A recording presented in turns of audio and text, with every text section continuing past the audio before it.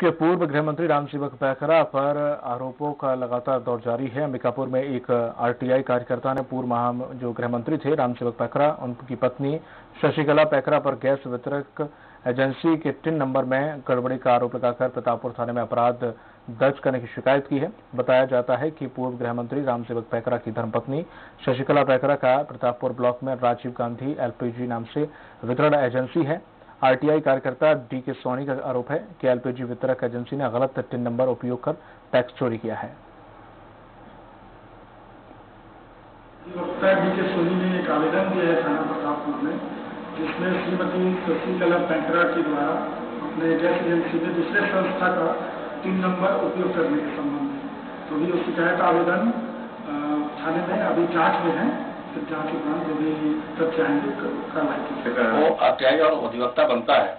मुझे लगता है कि उसके पास आज इन पाँच दस सालों में पचास क्लाइंट नहीं होंगे। पचास प्रकरण उसके पास कोई कोई जनता जाता नहीं है कोई अपना प्रकरण लेकर के। ऐसे आरटीआई करता था पूरे सरगुजा संभाग में मुझे लगता है कि पूरे आदिवासी क्षेत्र के आदिवासी जनप्रतिनिधि में आदिवासी सरपंच पंच भी है। अधिकारी कर्मचारियों को भी ब्लैकमेल करके उसका काम जारी रहता है और बहुत से प्रकरण उसके ऊपर कई आपराधिक प्रकरण भी चल रहे हैं।